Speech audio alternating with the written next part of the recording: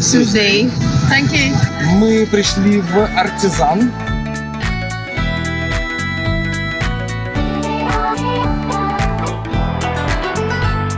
Соксабай. Абонемент на год стоит дешевле. А что посетить? А, храм Анкора, конечно. Первый чир-лидерши в истории человечества.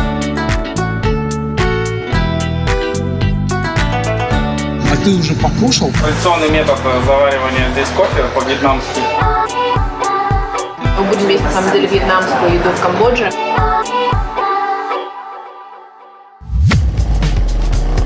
Привет, я Андрей. А я Маша. Мы пара, путешествующая по всему миру вдвоем. Мы просто едем и едим, используя различные способы передвижения в поисках самых красивых маршрутов и самой вкусной еды.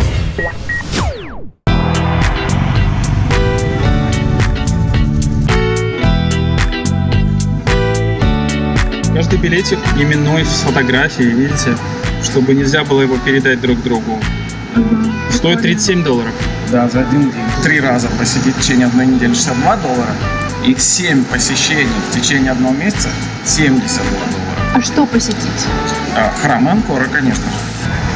Thank you.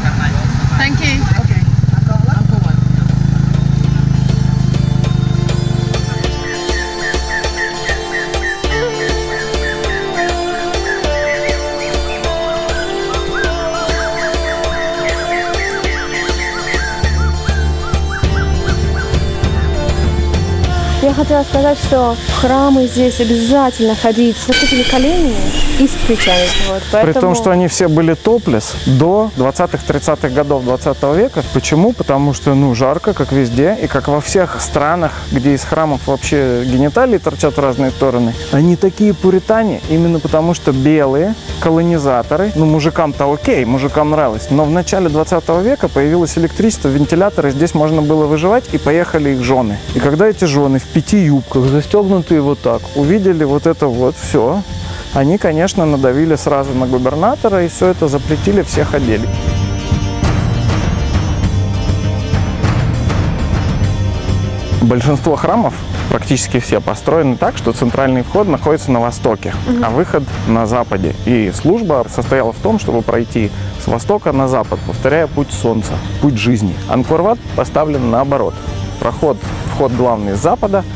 а выход с востока, потому что это путь смерти, а не путь жизни. Король сразу строил его в качестве своей усыпальницы, мавзолея. Лестницы нет, потому что здесь его уже ждал припаркованный слон. И это как раз высота слона. Слон у короля, конечно же, был альбиносом. И вот он похоронен в этой вот латеритовой ступе. Это могилка того самого слоника.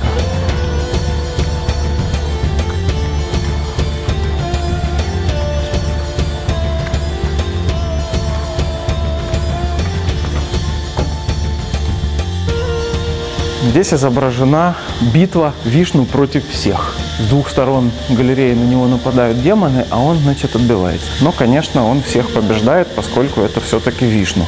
Как отличать их? У богов, ангелов шапочка с треугольничком, а у демонов шапочка с петушком. И как видите, они здесь почему-то перемешались. Также сами боги, если на них посмотреть, то смотришь, вроде на Горуде стоит многорукий бог, значит, это, конечно же, Вишну. Но почему-то у него 10 голов. Тогда это получается демон Равана. Когда спрашиваешь у специалистов, они говорят, ну так это ж боги, они меняют облик.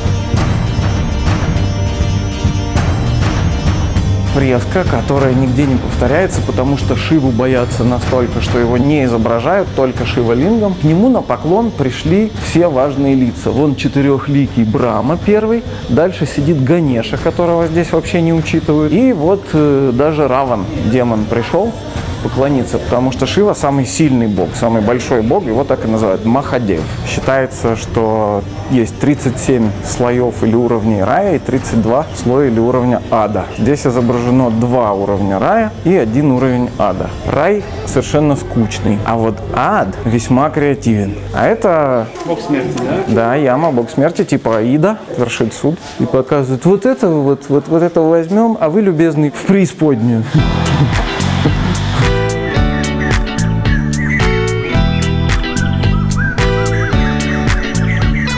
Находимся в храме Топрум, или храмы имени Анджелины Джоли, или Лары Крофт, потому что именно здесь ее священная длань касалась определенных корней, мы к ним еще придем. Был построен в числе прочих восьми храмов королем Джайварманом VII. Строился параллельно со вторым храмом, который называется Прекхан. Этот храм был посвящен матери короля, и здесь была школа Апсар, где их учили танцевать. 615 Апсар здесь находилось, 3000 послушников, 2500 монахов и нереальное количество охраны, потому что здесь еще и была сокровищница королевская. А в Прекхане был университет монахов, которые учились читать танцы Апсар. Апсары – это э, первые чир-лидерши в истории человечества. Их задача была именно «давай, навались, подтяни, мы все можем». Девочек забирали в возрасте трех лет из семьи, подбирали одну в одну, прям идеальные. Семьи были счастливы, потому что это великая честь. Они были неприкасаемыми. И их держали в школе Апсар практически в темноте. Они почти не разговаривали, ничего там не читали, ничего не делали. Они танцевали бесконечно. Монахи умели прочитать этот танец как предсказание. Урожай, не урожай, война, не война, там и прочие вещи. А они Болезни, не знали об болезни. этом? Кто они?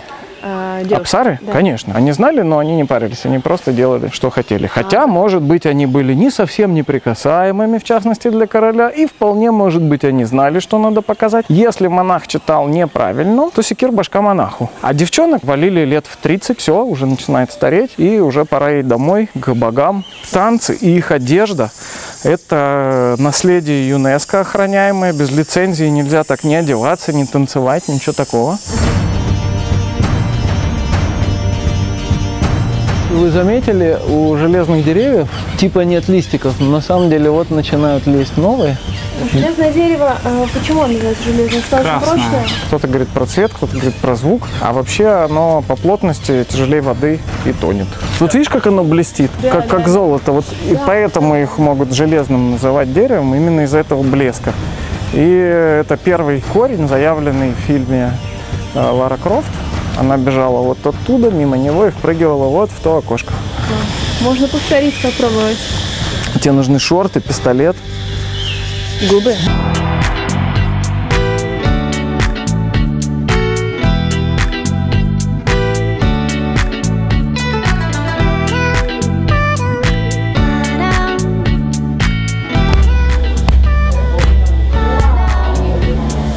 Если ты встанешь в другом месте, ты не услышишь этого звука.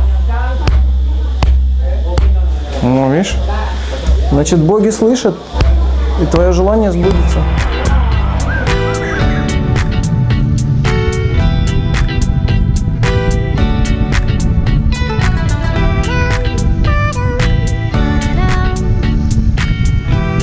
Расскажи, куда мы пришли? Мы пришли в артизан, где можно наблюдать работу мастеров именно такую, как она происходила тысячу лет назад. По камню, по дереву, по чеканке, по позолоте, По ткани. по ткани. Зайдем? Пошли.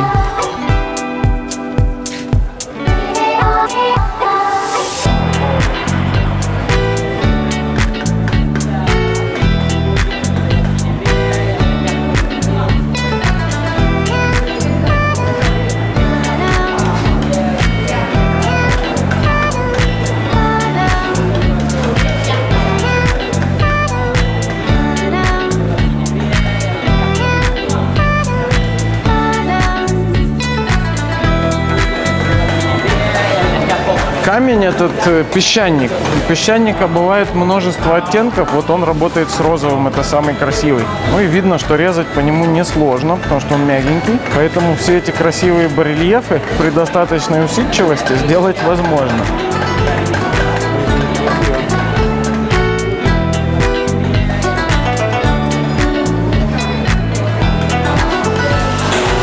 Работают с медью, но не в плане посуды изготовления, а шкатулочки и орнаменты для шкатулочек, допустим. Там они ее паяльной лампой обрабатывают, а там чеканят, вон он оббивает готовые уже картинки.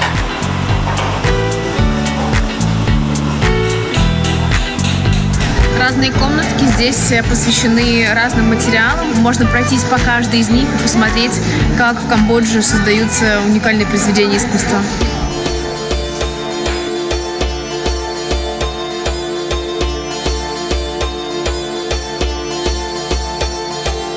Изготовление шелка вручную здесь производится точно по тем же технологиям, как это было и тысячу лет назад, допустим.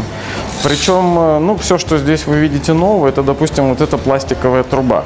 Раньше вместо трубы использовали доски. Она похожа на музыкальный инструмент. Похож. Правда? Струны тебе, пожалуйста. Педали. Но самый прикол это посмотреть сбоку, как она, нажимая педали, делает вот эту тему с нитками. Вот так сделала, прошел бегунок, потом вот так сделала, прошел бегунок. Но самое прикольное, как они делают узор. Они сразу берут прокрашенные нити, видишь, сине-белые, и потом сопоставляют их, ну, как пришел к трафаретной печати по крестам, когда ты составляешь. И точно так же, если ты видишь, дело не только в цвете, но и в фактуре. Представляешь, какой компьютер у него в голове? Он просто отключен, оно в медитации Да, находится, да. Это же коконы тутового шелкопряда, правильно? Правильно, причем иногда они подселяют в один кокон сразу две гусеницы, чтобы он был жирный, чтобы у него было больше нити, но это для одеял, для наполнения. И подушек. Они их, правда, не делают, но в принципе бывает. Причем это золотые коконы, которыми и славится кампучия. Набор постельного белья из белого кокона будет стоить 100 долларов за килограмм, а вот э, набор белья не крашеного из золотой нити сразу 3000 баксов. Смотри, что пишет. Handmade in Cambodia, pure silk. Какая цена? 69 долларов американских. Полностью шелковая, да? Да, конечно.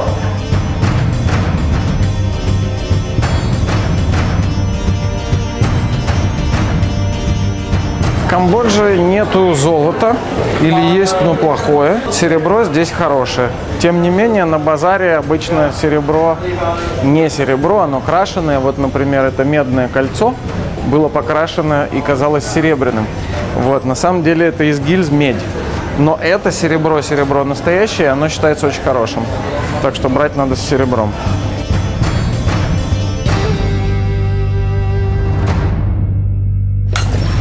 Он идеален. Как ты говорил, будет э, привет? Привет будет សួស្តី. សួស្តី. Здравствуйте будет ជំរាបសួរ. Да. Дальше надо пожелать человеку счастья. សុខសប្បាយ. На это отвечается អរគុណ សុខសប្បាយ.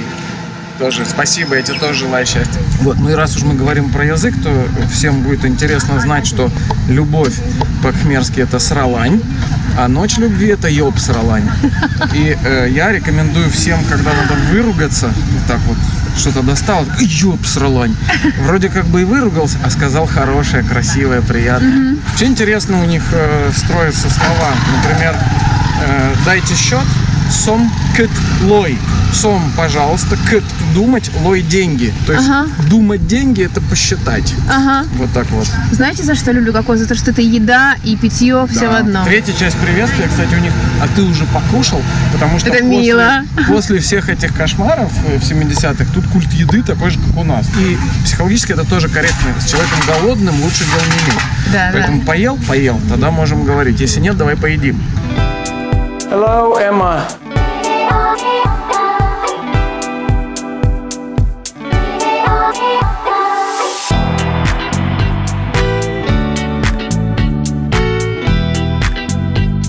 В Камбодже Андрей привел нас в такое маленькое легендарное заведение, и мы будем есть, на самом деле, вьетнамскую еду в Камбодже. А, заведение, в котором готовят только один вид еды, да?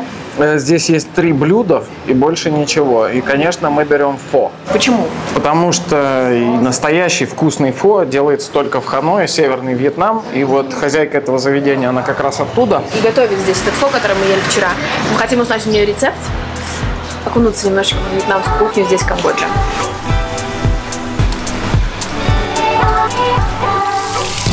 Значит, у нас есть морковь, дайкон, батат, брокколи. Есть бадьян, корица, кориандр.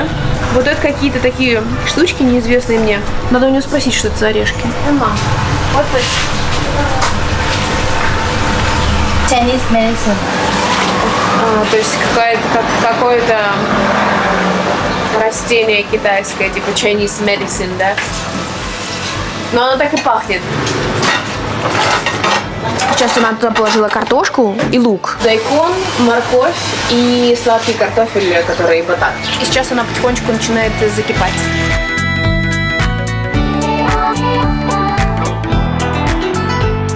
Той базилик, холи basil, да? И есть еще какая-то травка, название которой я не знаю, у нее, видишь, как, какие эм, концы такие, немножко острые. Вот. А это точно базилик. Посмотри, как она интересно режет.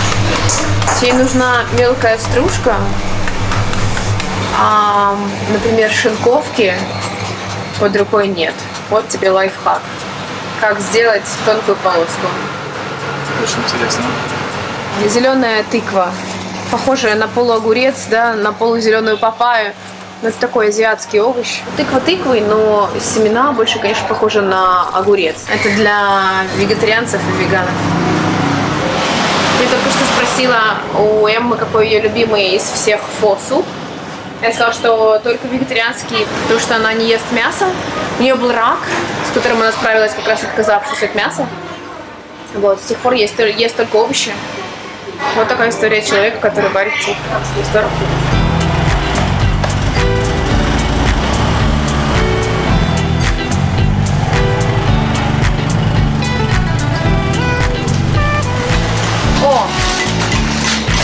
Свежие а, приехали продукты с местного рынка. Ростки сои, а, какие-то специи приехали, курица приехала. Класс. Она говорит, что вы можете изменять ингредиенты в зависимости от того, что вы видите на рынке. Если есть что-то более свежее, то вы можете по- поменять да, немножечко ре- рецепт. Эмма достает батат из э, бульона. Просто бульон будет сам дальше уже довариваться, а батат она просто потом порежет кубиками и э, будет класть в суп. Сейчас тут бульон в такой овощной и уже наварится немножечко. Она добавила брокколи.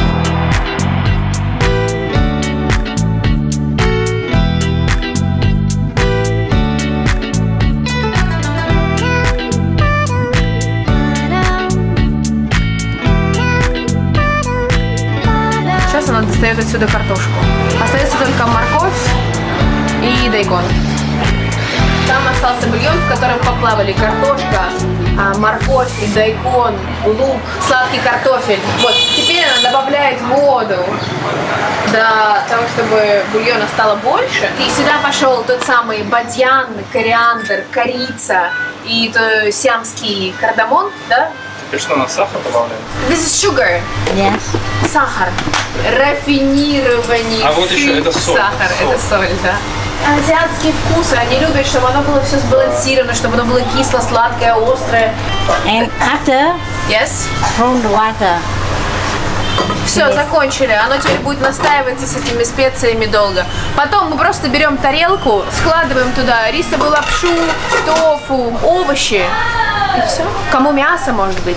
В Азии не говорят ни будь здоров, ни приятного аппетита. Поэтому добиться от нее, чтобы она сказала приятного аппетита по-вьетнамски, он даже не понимает, что мы от нее хотим. Кто ей сейчас выспится? Наверное, первый раз в жизни будет такое еще произносить. You can rice in it, yes? Yeah, yeah, I can. Uh, this one. How it will be? Do you know? Ngon miệng. How? Chúc ngon miệng. Two pound me. Chúc ngon miệng. Oh my god. Thank you. Thank you very much.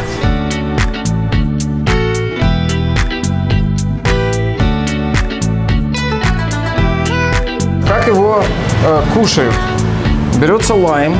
Лайм выдавливается изо всех сил в максимальных количествах.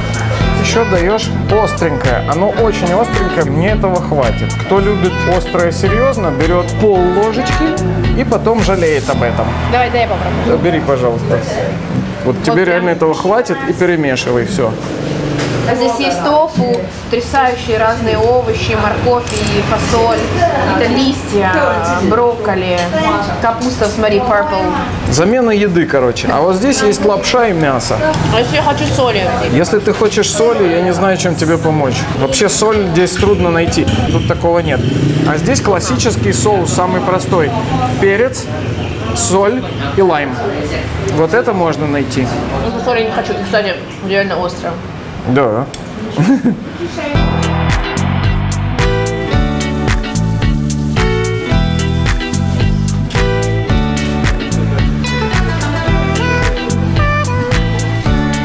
традиционный метод э, заваривания здесь кофе по-вьетнамски. Такой ход брю получается, да?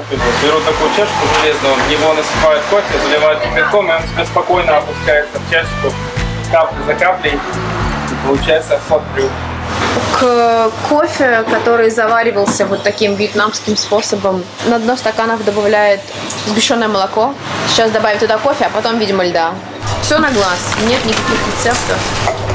Совершенно. При этом важно понимать, что сами зерна кофе обжариваются в течение практически трех часов на кокосовом масле. И это вытягивает из них абсолютно всю горечь. И остается только нямочка. И получается он такой сладенький-сладенький. В общем, всем очень нравится.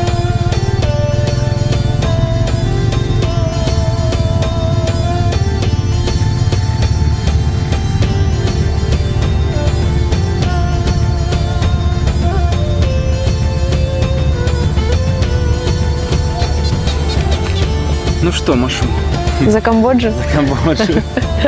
Что скажешь про Камбоджу? Расскажи свои впечатления. Мне понравилось, я бы хотела вернуться сюда. Мы решили сделать свой топ-3, да? Давай поделимся. Самые сладкие фрукты, которые я когда-либо пробовала. Да, видишь, здесь за счет того, что солнце сильное, сухо и Божественные фрукты.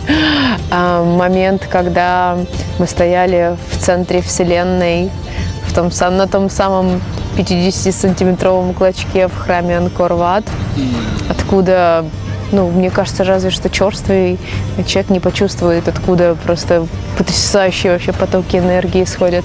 А твои? Ну, конечно, храмы я бы тоже поставил на первое место, потому что ради них сюда- Согласись, мы у них не ездим по храмам обычно вообще. Ну да, но здесь они не совсем храмы, здесь это скорее как достояние Да. истории, да. Я все время думаю о том, какая сильная энергия была заложена людьми в 13-12 веке, что вот уже 7-8 почти веков это кормит всю страну, да. То есть я бы тоже выделил храмы, ну, наверное, на первое место по впечатлениям, да, для себя. И при том, что я был тут 7 лет тому назад в Камбодже, ну, как-то, видимо, тогда настрой был другой, знаешь, они не так зашли. Серьезно? Да, наверное, да, не знаю.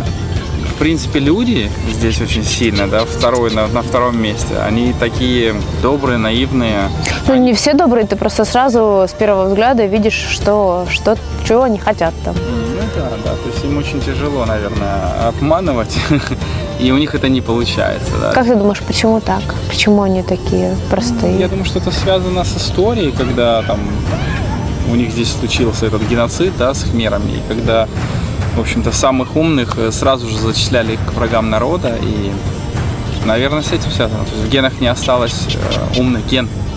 И третье, что меня удивило, это ну, порядок цен. Чтобы потратить здесь э, 200 долларов в день, нужно очень сильно постараться, да. Хочется, наверное, сюда еще вернуться, Да, я бы путешествовала по другим городам. Мне кажется, что они будут разные, но вот этот камбоджийский дух, он все-таки останется. И, кстати, как сказал Андрей, я почувствовала ту свободу, которую здесь люди чувствуют.